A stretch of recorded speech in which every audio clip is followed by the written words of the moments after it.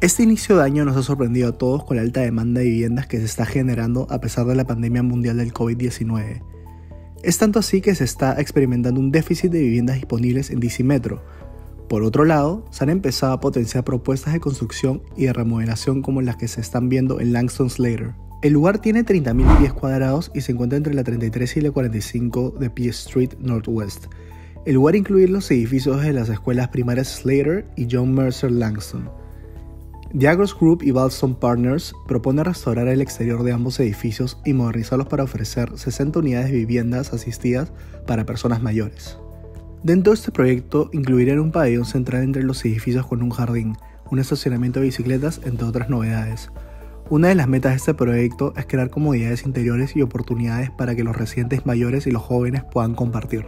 Según reportes, uno de los proyectos más cercanos son viviendas para personas de la tercera edad y el cuerpo de paz, un equipo llamado Langston Slater Community Partners propone una edición de 5 pisos sobre los edificios escolares para ofrecer 150 unidades asequibles de vida asistida para personas mayores.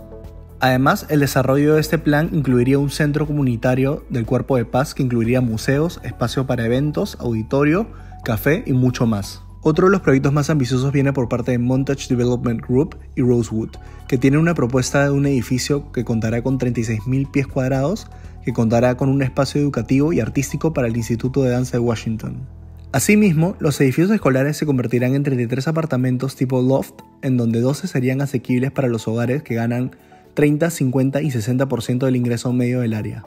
Si nos ponemos a ver este gráfico, nos muestra cómo el valor de las propiedades en DC se ha ido incrementando a través de los años, y este enero, a comparación de otros, el valor ha aumentado exponencialmente, siendo un 9.9% superior al enero del 2020 lo que significa que ahora las viviendas valen mucho más que años pasados. Estos datos nos dan un panorama más amplio de cómo está el mercado de las propiedades y el desarrollo de proyectos a pesar de estar pasando por una crisis sanitaria. Por lo visto, el mercado solo irá en aumento por los próximos meses. Para el Finoco Washington, Jean-Pierre Solar.